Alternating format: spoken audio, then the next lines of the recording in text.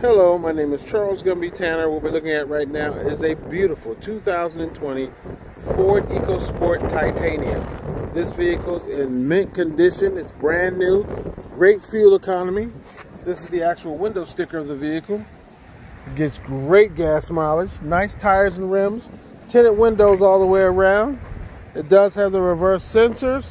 It does have the reverse camera. But then again, it's a titanium, so it's pretty well equipped. This is the inside of the vehicle in the back here. Got plenty of cargo space.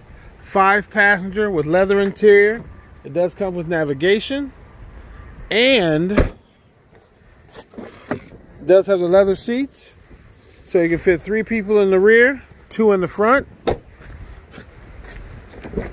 It has the blind spot mirrors. It also has heated seats for the driver and passenger side. And there's your navigation. You also have a moon roof. So this is well equipped. It is a titanium, so it has just about everything except for a driver. So if you have any questions about this vehicle, please give me a call back at 916-606-5278. Again, my name is Charles.